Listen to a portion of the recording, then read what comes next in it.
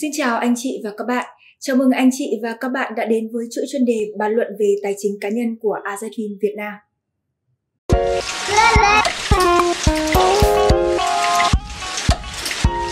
Như chuyên đề lần trước chúng tôi đã trao đổi đó là khủng hoảng kinh tế thế giới thì uh, chúng ta cần phải chuẩn bị cái kế hoạch tài chính cá nhân như thế nào. Thì thực sự có nhiều uh, quý anh chị có comment đến chúng tôi hay là inbox đến chúng tôi đó là uh, hãy chi tiết hơn về các cái đầu mục ví dụ như là chi tiêu chẳng hạn. Chính vì thế cho nên là hôm nay chúng tôi sẽ cùng trao đổi về các cái phương pháp các cái mẹo chi tiêu khoa học để giúp cho mọi người có thể là vượt qua cái thời kỳ bão giá này một cách gọi là tốt hiệu quả và cuộc sống vẫn vui vẻ bình thường.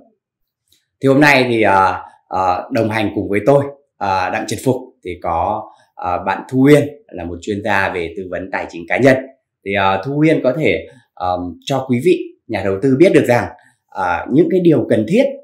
trong cái việc chi tiêu trong cái thời gian bão giá như thế nào. À, Vâng thưa anh thì trong cái thời kỳ bão giá thì cái việc mà chúng ta cần phải quản lý chi tiêu là một điều cực kỳ cần thiết và để cho việc uh, thực hiện này nó quy củ và nó mang tính khoa học thì chúng ta cần thực hiện ba điều sau đây. Thứ nhất đó là chúng ta cần phải giả soát lại chi tiêu và lập ngân sách để quản lý chi tiêu một cách khoa học và kỹ càng hơn. Thứ hai đó là chúng ta cần phải ưu tiên cho những cái gì là cần và những cái gì là mong muốn mà nó không thực sự là cần thiết cho chúng ta. Thì cái điều này cụ thể đó là chúng ta hãy ờ, dành những cái khoản chi tiêu bởi vì nguồn lực của chúng ta có hạn. Vì vậy ờ, cái khoản chi tiêu của chúng ta cần phải dành cho những cái nhu cầu thiết yếu trước và cho những cái mong muốn của chúng ta sau. Và cái thứ ba đó là à, chúng ta hãy tìm những cái giải pháp thay thế làm sao cho vẫn đáp ứng được cái nhu cầu của chúng ta nhưng với cái mức chi phí và giá cả thấp hơn vâng đó là ba cái cách mà chúng ta à, có nên thực hiện ở trong một thời kỳ bão giá.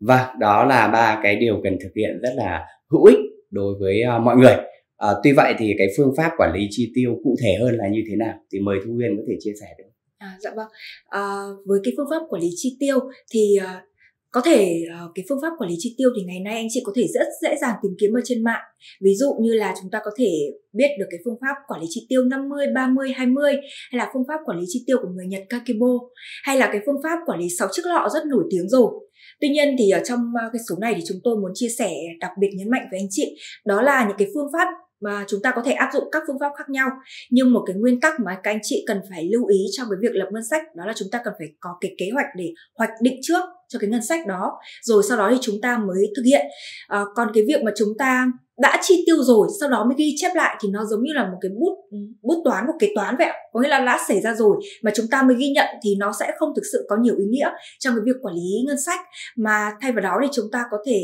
à, lập ngân sách kế hoạch trước và để trong cái việc mà lập ngân sách đó thì chúng ta sẽ theo dõi cái việc mà chúng ta lập và thực hiện thì nó có trùng khớp hay là có sự ờ, chênh lệch với nhau hay không để từ đó chúng ta sẽ điều chỉnh được tốt hơn. Thì ờ, ví dụ cái phương pháp lập ngân sách thì chúng ta có thể chia theo các hạng mục chi tiêu chẳng hạn. Ví dụ như là cho thực phẩm ăn uống này cho nhà cửa xe cộ này hay là cho những cái chi phí như ăn uống giao tế bên ngoài này. Hoặc có những uh, gia đình thì sẽ chi tiêu phận và phân bổ ngân sách theo cái phương pháp đó là chúng ta chi tiêu theo từng tuần. Và cái phương pháp chi tiêu theo từng tuần này thì theo tôi là nó phù hợp với những gia đình hoặc những cá nhân mà có cái chi tiêu nó không biến động quá nhiều và nó thường là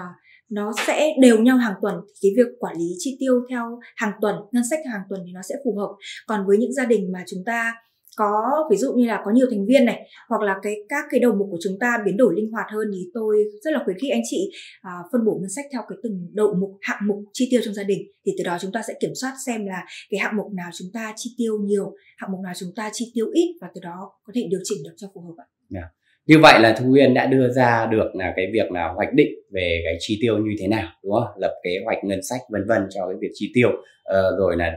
lên cái thứ tự ưu tiên vân vân để chi tiêu. À, vậy thì ờ, cái ờ, các cái mẹo các cái cách áp dụng cái đó vào thực tế như thế nào? Thì mời thu uyên có thể chia sẻ để quý vị có thể áp dụng vào uh, trong cái đời sống của mình. Vâng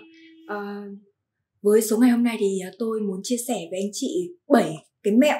nó không uh, được coi là phương pháp đâu mà nó chỉ là những cái mẹo nhỏ anh chị có thể áp dụng vào trong cái việc quản lý ngân sách của mình. Thì tôi nghĩ ở một số cái mẹo nào đó có thể giúp ích cho anh chị trong cái việc quản lý ngân sách giúp chúng ta có thể à, tăng cái tính tiết kiệm và vẫn đảm bảo được cái à, việc tối ưu trong cái sử dụng ngân sách của mình. Vâng cách thứ nhất đấy là à, liên quan đến cái thực phẩm ăn uống ạ thì đối với những gia đình trung lưu hoặc là những uh, gia đình mà có thu nhập từ trung bình khá trở xuống ạ thì cái tỷ trọng mà liên quan tới ăn uống và những cái chi phí sinh hoạt thì nó chiếm phần lớn thậm chí đến 60 70 chi à, cái thu nhập của chúng ta đúng không ạ? Vậy thì một cái mẹo mà chúng ta có thể áp dụng để có thể điều chỉnh và tiết kiệm được cái ngân sách của chúng ta đó là chúng ta hãy à, bây giờ thay vì ngày trước chúng ta ăn trưa bên ngoài chẳng hạn, đi làm ở văn phòng và ăn trưa bên ngoài, bây giờ chúng ta hãy ờ, nấu cơm nấu cơm để mang đi. Nấu cơm thì ờ, chúng ta có thể ờ, ăn bữa sáng này, sau đấy chuẩn bị cho bữa trưa luôn. Và cái việc mà hạn chế ăn ngoài chúng ta đã có thể là tiết kiệm được một cái khoản kha khá cho cái việc ăn trưa bên ngoài. Ví dụ như tôi tính là nếu như một người ăn trưa bên ngoài khoảng từ 50 cho tới 70 nghìn đồng một bữa trưa đấy là trung bình. Còn nếu với những người mà có trước đây có cái mức sống mà cao hơn có thể chi đến hàng trăm nghìn đồng một bữa trưa. Vậy thì uh, trung bình một tháng chúng ta nếu mà uh, đi làm ờ, 20 ngày cho tới 22 ngày công chẳng hạn thì nhân với số đó lên thì chúng ta đã tốn khoảng uh, từ một triệu cho tới hơn một triệu cho cái việc ăn uống bữa trưa. Và thay vào đó nếu chúng ta uh, nấu ăn thì tôi nghĩ là cái số đó chắc chỉ còn khoảng một nửa hoặc ừ, thậm chí là chỉ 2 phần ba. Vâng, cái việc uh, tự chuẩn bị đồ ăn uh, hạn chế cái việc đi ăn hàng là tiết kiệm rất nhiều. Như Thu Yên vừa chia sẻ là đấy là việc ăn trưa thôi. Còn nếu mà đi ăn hàng chẳng hạn thì lấy ví dụ đi ăn một suất thì nó cũng phải ít cũng phải hai ba trăm một suất đúng không ạ? Thì chúng ta hạn chế được khoảng độ uh, à, hai suất một tháng thôi chẳng hạn thì chúng ta cũng tiết kiệm được thêm khoảng năm bảy trăm ngàn thậm chí vâng. một triệu đồng vâng. đúng không ạ và cái việc ăn ở nhà thì nó vừa đảm bảo vệ sinh an toàn và nó lại giúp cho cái sức khỏe của chúng ta tốt hơn và cái mẹo tiếp theo thì thu huyên chia sẻ đến quý vị là gì? À, vâng thưa anh thì nhân tiện cái việc anh nói đến là đi ăn ngoài thì cái vấn đề thứ hai mà tôi cũng muốn nhắc tới thì nó cũng gần giống với anh nói thôi ạ. Đó là cái việc mà chúng ta đi ăn hàng bên ngoài thì trước đây nếu như là cái việc mà uh, thu nhập của chúng ta với cái mức chi phí đấy thì chúng ta cảm thấy rất là thoải mái dư giả trong một tháng chúng ta có thể ăn đến 4 năm lần đi ăn ngoài tụ tập bạn bè. Nhưng bây giờ với cái việc mà tăng giá nhưng thu nhập của chúng ta chưa tăng kịp theo thì chúng ta nên cắt giảm. Ví dụ trước đây thì 4 năm bữa thì bây giờ chúng ta giảm chỉ còn hai ba bữa thậm chí là một hai bữa. Hoặc với những người mà cái mức thu nhập nó còn thấp quá mà nó còn mà với cái chi phí mà sinh hoạt thường ngày nó đã đội lên mà gần chiếm hết cái thu nhập của chúng ta rồi thì chúng ta thậm chí còn nên cắt giảm cái việc mà ăn ngoài ạ. Dạ. Đó thì à, cái à, mẹo số 2 đó là chúng ta nên xem xét với những cuộc hẹn quan trọng mà có thể à, liên quan tới công việc của chúng ta mà chúng ta nhất định phải đi thì uh, chúng ta có thể cân nhắc còn với những cái cuộc họp mà cuộc hẹn mà vui chơi mà không tính mang tính chất cần thiết thì chúng ta có thể cắt giảm đúng theo cái nguyên tắc ban đầu mà tôi đưa ra đó đó là ưu tiên những cái cần và những cái muốn thì chúng ta phải xem xét để cắt bỏ. Vâng về cái vấn đề là nấu ăn ở nhà thì thực sự là gần đây thì tôi cũng có đi chợ nhiều thì thấy rằng là ví dụ rau chẳng hạn cũng tăng giá rất là mạnh. À, đâu đó một bó rau cải đâu cũng khoảng độ 10 ngàn đồng này. rồi là một số cái loại uh, thực phẩm đặc biệt là nhập khẩu chẳng hạn giá rất là cao. Vậy thì thu nguyên có cái mẹo gì uh, liên quan đến cái việc đi mua sắm các cái uh, đồ thiết yếu thực phẩm như thế không? Vâng, thưa anh thì với những cái thực phẩm mà chúng ta ăn uống thường ngày á thì ờ, có một cái ờ, nếp sinh hoạt của các cụ ông cha ta ngày xưa đó là mùa nào thức ấy ạ. Có nghĩa là với những cái thực phẩm mà theo mùa ờ, thì chúng ta sẽ ưu tiên để tiêu dùng trong cái mùa đấy. Với những cái thực phẩm theo mùa thì tôi thấy có ưu điểm đó là chúng vừa rẻ lại vừa ngon không như là những cái thực phẩm ví dụ là chúng ta mua trái mùa thì thường thì trái mùa thì nó sẽ ít xuất hiện vì thế là chúng ta sẽ có tâm lý là chúng ta uh, thấy lạ để chúng ta muốn mua thôi. Nhưng theo tôi thì những cái thực phẩm trái mùa thì nó lại vừa đắt mà nó không đúng mùa thì nó lại không ngon. Trong khi đó thì những cái thực phẩm mà đúng mùa thì chúng ta lại có hai lợi ích như vừa rồi. Vâng thì liên quan tới cái việc mà mua hoa quả theo mùa ấy ạ thì có một cái mẹo mà tôi muốn chia sẻ thêm với anh chị. Đó là uh, tôi được học cái mẹo này thì bản thân tôi cũng là đi học từ những cái từ những cái nhóm mà các bà mẹ chia sẻ với nhau. Đó là uh, có những siêu thị mà họ chuyên bán bán số lượng lớn nhỉ có nghĩa là họ thường bán theo lốc hoặc bán theo cái số lượng lớn theo mà bình thường một cá nhân hoặc một gia đình thì ít khi mua theo cái số lượng như thế. Nhưng cái ưu điểm của cái việc mà mua hàng theo số lượng lớn thế thì chúng ta giảm được cái chi phí mua hàng so với mua lẻ. Vì vậy thì có cái mẹo đó là những các uh, chị các mẹ hoặc các bà ở những chung cư hoặc là những cái nơi mà sống tập thể ấy, thì họ liên hệ với nhau thế là họ lên một cái danh sách để mua hàng những thực phẩm hoặc là những cái mặt hàng mà mỗi gia đình cần thiết sau đó sẽ cử đại diện một à, gia đình hoặc một hai gia đình sẽ đi mua những cái món đồ đấy. Thì khi mà họ tập hợp được những cái món hàng mà uh, họ trùng nhau họ có thể mua được số lượng lớn thì cái chi phí mua hàng nó cũng rẻ hơn anh ạ.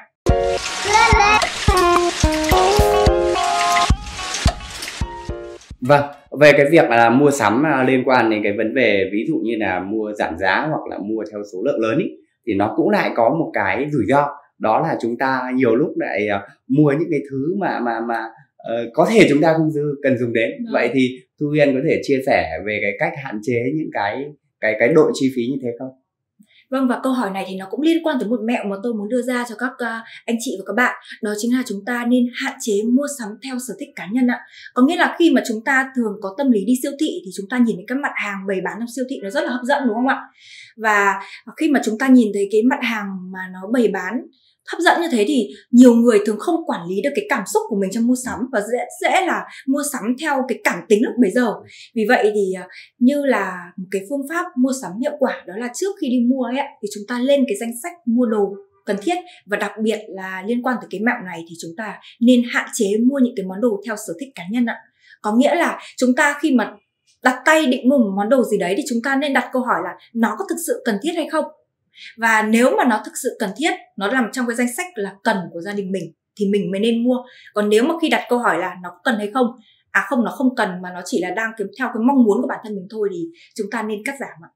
Vâng đúng rồi thì uh, tôi cũng ờ, thường áp dụng một cái cách ờ, như thế này. Đó là muốn mua món đồ gì thì tôi cứ nêu ra trước. À. nhưng mà tôi đợi thêm khoảng độ một ngày sau hoặc hai ngày sau nếu mà mình vẫn thấy là nó rất cần thiết phù hợp chẳng hạn thì mình mới mua. Đấy. còn nếu mà một thời gian sau mà cảm giác ồ nó không cần nữa không muốn nữa thế là chúng ta cắt được cái khoản chi tiêu đó. Thì bên cạnh đó thì thu huyền có thể chia sẻ thêm về các cái mẹo liên quan đến việc mua sắm uh, trực tuyến không? Bởi vì hiện nay thì cái phương pháp mua sắm trực tuyến của chúng ta ấy, thì nó rất phát triển. Và thực sự nếu mà chúng ta không cẩn thận thì chúng ta cũng có thể gọi là đóng chìm trong đó và thậm chí tốn chi phí hơn. Vâng. Vâng và về việc mà anh phụng mà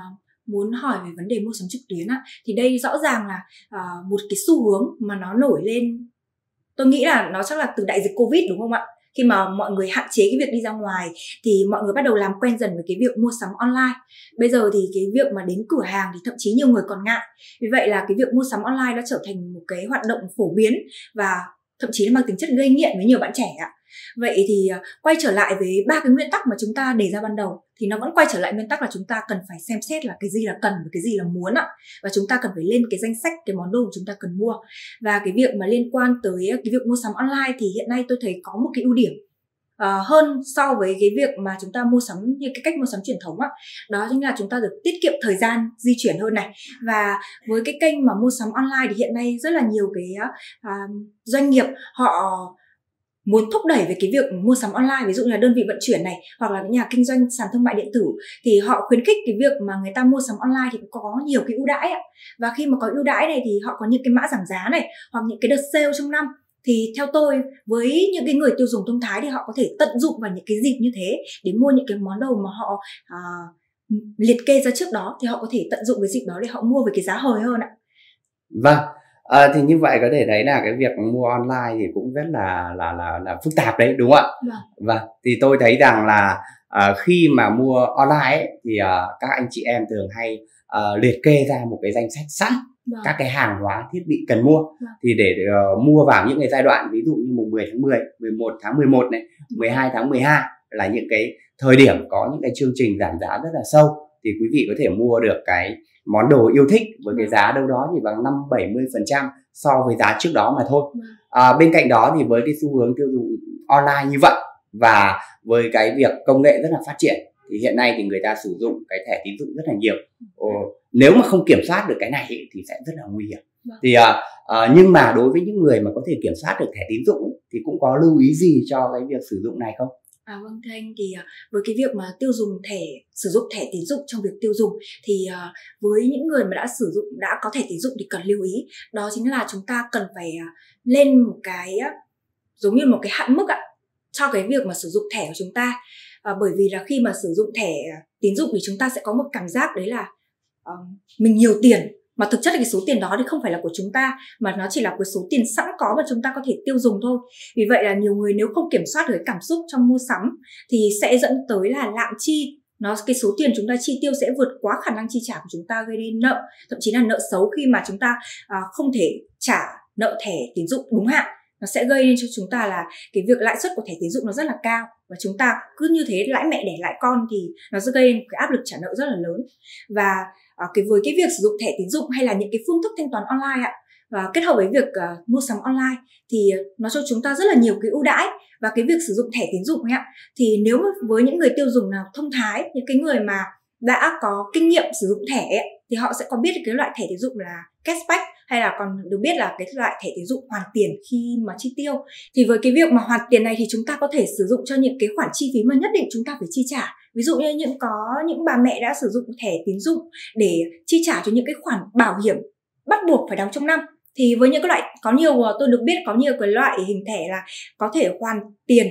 3% hoặc đến 5% trên tổng cái hạn mức mà chúng ta đóng tất nhiên là họ, họ sẽ có tối đa là cái số tiền ví dụ là tối đa là một triệu hoặc là 600 nghìn đồng chẳng hạn. Nhưng tuy nhiên thì nếu mà các à, chị các mẹ mà chịu khó tìm hiểu thì tôi tin chắc chắc rằng thì chúng ta sẽ luôn tìm được những cái ưu đãi giúp cho chúng ta có thể tối ưu được cái khoản chi phí của mình hơn ạ. Như vậy có thể thấy rằng là việc sử dụng thẻ tín dụng cũng là có những cái mặt rất là tốt chứ không hẳn là chúng ta bài trừ nó. Và nếu chúng ta biết sử dụng như thu huyên chia sẻ thì chúng ta thậm chí cũng sẽ tiết kiệm được rất nhiều trong cái vấn đề chi tiêu à, nhân cái vấn đề sử dụng thẻ tín dụng và vay nợ này thì tôi cũng muốn chia sẻ thêm đến cái quý vị. Đó là chúng ta hãy hạn chế cái việc vay tiêu dùng để có thể đi mua sắm hay là mua trả góp chẳng hạn. Thì bởi vì tính ra cái lãi suất trả góp quý vị thường phải trả trung bình là khoảng 40 đến 50 phần trăm một năm cơ chứ nó không hề thấp một chút nào. Như vậy nó cao gấp những 5 đến 6 lần lãi gửi ngân hàng. Và chúng ta kiếm đâu ra tiền để có thể là có cái mức sinh lời như thế để trả cho cái việc mua trả góp. Đó là những cái lưu ý thêm của tôi một chút về cái vấn đề chi tiêu. Vâng trên đây là những cái mẹo mà chúng tôi muốn gửi đến quý vị về cái việc chi tiêu sao cho hiệu quả thông thái trong cái thời gian uh, suy thoái kinh tế cũng như là bão giá diễn ra ở trên toàn cầu và ở Việt Nam. Thì chúc quý vị có được những cái kiến thức hữu ích áp dụng vào trong cái việc chi tiêu của mình để hiệu quả hơn. Xin ờ, chào và hẹn gặp lại ở những cái nội dung tiếp theo.